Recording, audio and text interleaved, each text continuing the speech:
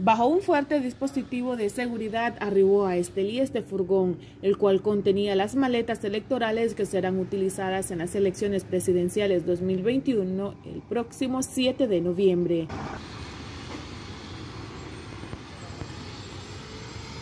En el caso particular de Estelí, que es el departamento que me corresponde pues, eh, dar seguimiento a todo lo del proceso electoral. Vienen 547 maletas electorales, contienen lo que son las boletas electorales, hasta 400 boletas como dice la ley electoral.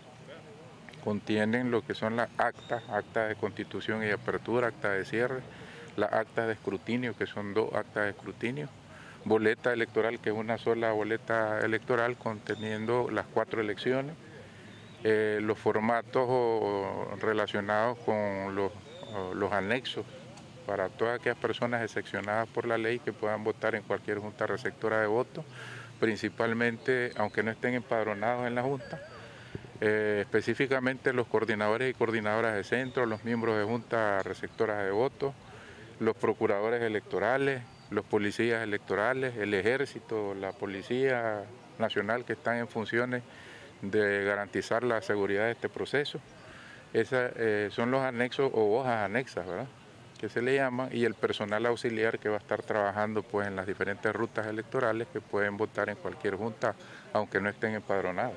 Y además en la maleta vienen otros materiales auxiliares, ¿verdad? Como viene el cartel de resultados que se va a pegar en, en cada junta receptora de votos, vienen reglas, vienen cera humedecedora, todo ese tipo de materiales que se ocupan, pues eh, eh, cintas adhesivas, eh, otro tipo de formatos que se van a usar en hojas de trabajo.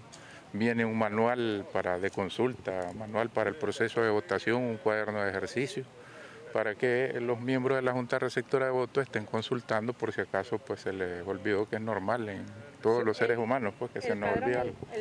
Los padrones electorales vienen contenidos en la maleta, los listados verdes que le llamamos, que son el listado de todos los ciudadanos y ciudadanas que se cedularon y que no están en el padrón. Vienen los listados amarillos, que son las personas que antes eran de ese centro de votación y que cambiaron de domicilio hacia otro centro de votación y vienen contenidos en la maleta electoral. Estas fueron recepcionadas en el complejo policial Boris Vega, luego fueron trasladadas a cada uno de los municipios del departamento de Estelí. Seguridad y protección brindó el ejército de Nicaragua. Disponen del 100% de sus fuerzas y medios en el resguardo y traslado de cada una de las maletas. Estamos transportando el material electoral, las maletas que vienen de las bodegas centrales hacia los diferentes departamentos y en total vienen 1.435 maletas electorales.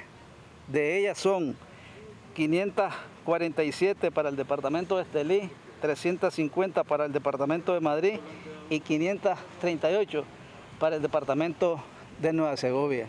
También vamos eh, a disponernos a brindar protección a un poco más de 173 rutas a nivel de la primera región. Y en el departamento de Estelí estamos brindando seguridad y protección a 363 centros de votación, 1.418 juntas receptoras de votos y 173 rutas. Y estamos también brindándole seguridad a un poco más de 7.000 funcionarios que van a trabajar en todo este proceso electoral.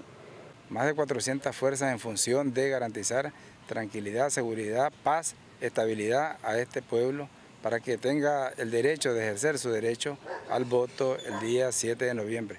Reforzamos las medidas que ya teníamos con más fuerza para garantizar que también no, no vaya a suceder nada ahí, que estén seguras y esperando nada más la distribución, la salida. Nosotros también continuamos resguardando esa salida, que lleguen a los centros de votación, que se vayan a los 134 centros de votaciones, que se vayan a las 547 47 juntas receptoras de votos y que vayan y retornen sin ningún problema. Esa es la misión, esa es la función que debemos de cumplir ahora el 7 de noviembre. Las maletas fueron recibidas por el presidente departamental del Consejo Supremo Electoral. Estuvieron presentes los fiscales de los distintos partidos políticos.